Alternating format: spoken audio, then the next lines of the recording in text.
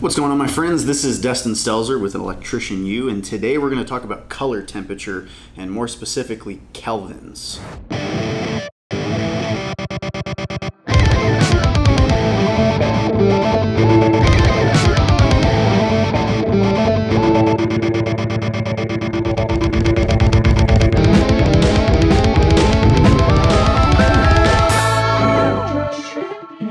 What are kelvins? We keep hearing like you know 2700K, 4000K, 5000K when you're buying fluorescent lamps or LED lamps. Um, even a lot of like the HID lamps are rated in Kelvin, and a lot of people don't understand what that means and why that's important.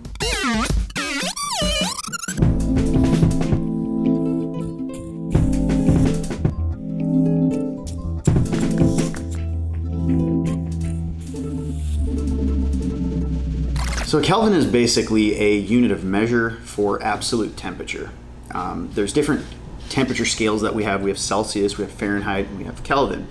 Well, a lot of them are based off of the boiling point and the freezing point for water. With the Fahrenheit scale, we say that uh, water boils at 212 degrees Fahrenheit and it freezes at 32 degrees Fahrenheit. But with Celsius, we say that water boils at 100 degrees Celsius and 0 degrees uh, Celsius is where it freezes. Um, so it's just different ways of looking at an event that's happening and for different reasons. With the Kelvin scale, though, we don't look at just when water freezes. Kelvin looks at the absolute point in which all molecules stop moving. So it's kind of a universal, infinite concept of temperature. Once all molecules stop, there is no more movement to generate heat, period. It's like the coldest of cold that anything could get, and it's almost an inapproachable thing. So all that aside, it's a, just a different scale of how we measure temperature of objects. Who? What? I, I don't. What? I. So why do we use kelvins in lighting? Well, when you think about it, if you were to use Fahrenheit to talk about color temperature, it would get confusing because we use Fahrenheit to talk about thermal temperature and heat. So if we were to say like this light is a 4400 degree Fahrenheit light, a lot of people would probably think that you're talking about to the touch or like it's putting off 4400 degrees worth of light.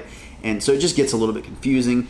Even in electrical, if you look in our code tables, a lot of our insulation ratings for conductors are like 60 degrees or 75 degrees, 90 degrees. A lot of terminations and things are like that.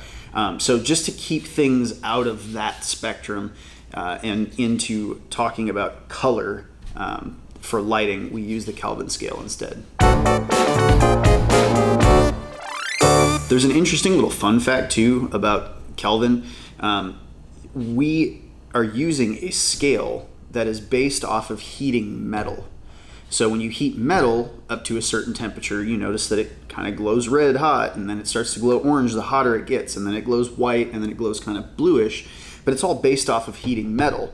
And most of the lights that have a Kelvin rating are all gas filled and it's not actually the metal that's heating up that's producing that light.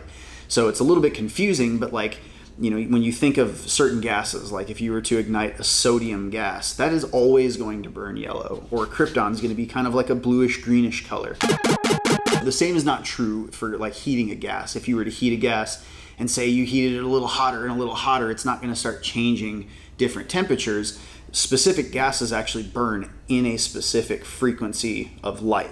Um, so they're always going to be that color. So the same is not really true, but we still just use the heat of metal as the color temperature spectrum uh, when we're talking about gas-filled lighting as well. So on the Kelvin scale, what you're measuring is the color change from red to blue. So in between there, um, when you look at, say, like lighting a match or something like that, a, a match light or candlelight, you're talking probably like 1500 to 2000 Kelvin.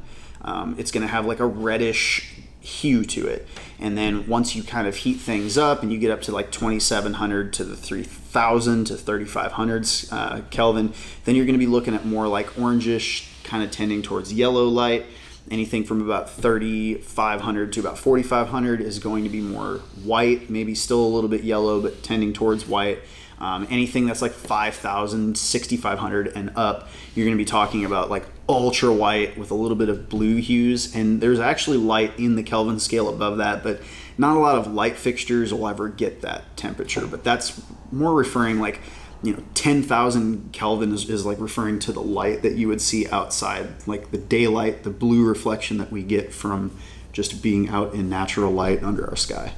And within the Kelvin scale, we actually have like a correlated color temperature chart. A lot of lamps are rated in like warm whites or cool whites or soft whites or daylight whites.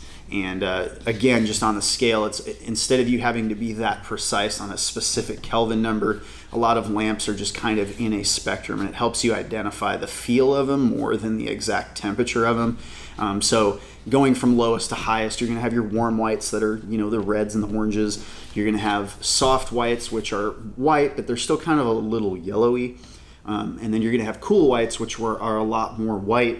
And then your daylights tend to have like a grayish or bluish hue to them. So um, that's how you can really identify what they're talking about when you're looking at these lamps in a store. So that's Kelvin. Uh, not very much more that needs to be said about it. Anytime you're talking about the, the temperature of a light or the color of a light, you need to be careful about the kelvins. Um, a lot of customers, you know, they may think that when you go install lights, they're going to be a certain color. So if they're thinking they're going to get white light and you go in and install a whole bunch of light fixtures or, you know, lamps, bulbs that are all like 2700K, it's going to be super orangey yellow. So it's just really important to talk to your customers first and make sure that they understand what the color spectrum is. Um, and every environment kind of has a reason as to why you would want to use one over the other. But just make sure you're talking to your customers about this stuff first. The other thing is when you're like relamping in an existing environment, like you're in a big box store and they've got a whole bunch of lamps, you got to be careful that whatever lamps you're bringing in match the same Kelvin color as the ones that are there. Otherwise, you're going to have like a whole bunch of fixtures that are like three lamps are white and one of them is yellow, and it's just going to make you look stupid like you didn't know what you were doing. So that's all I got. Love you, people. Thank you so much for watching, and I'll see you in the next episode.